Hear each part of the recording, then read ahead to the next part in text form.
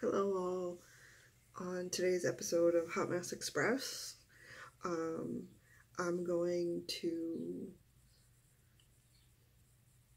let you guys know that sometimes kids say the darndest things, and I know that's a show. Sorry, is it Steve Harvey? I don't remember who the host is. Anyways, so um, yesterday we were doing the laundry and uh, because I'm a horrible mother, just horrible, I make my kids help me separate and fold the clothes.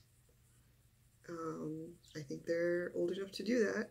They know what underwear looks like, they know what socks look like, they know what pants look like, what t-shirt looks like. That's the basis of, and pajamas, that's the basis of our wardrobe right now.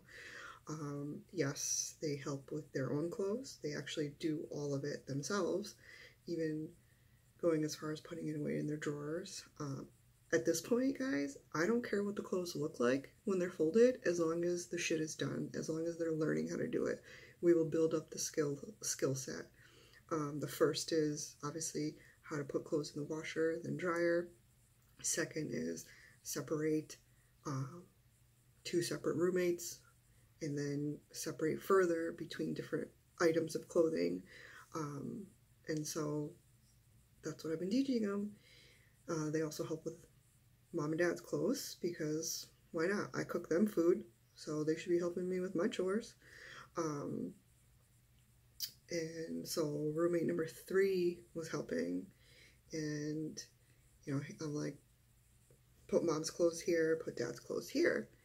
And I try to do mine because, you know, got the bras, I don't have boys, I don't want them to be uncomfortable trying to be a little bit sensitive. I know if you've met me, you're like, you're the least sensitive person I know. Bitch, I'm sensitive, okay? You need to like check yourself. I am super sensitive. Um, but so roommate number three is separating and he gets to a bra and he holds it up and I'm moving back slowly so I can share with you what he does. So he holds up the bra and he's like, um, this is yours? It looks to be all awkward. And then he um, proceeds with, and then, and then I say, do you, are you sure it's mine? He's like, yeah. he's like, and then I say, do you know what this is? And he looks at me and he's like, he's literally like, looks at my chest, looks at me, looks at my chest, looks at me and goes, it's for these?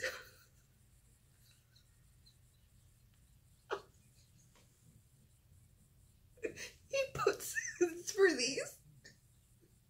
And he's so like he's he's doesn't he does he's like I think that's what's for. You're the only one that wears them. I don't nobody else has these bumps. So my lovely lady bumps, that's what he's referring to, and it was hilarious. Hilarious.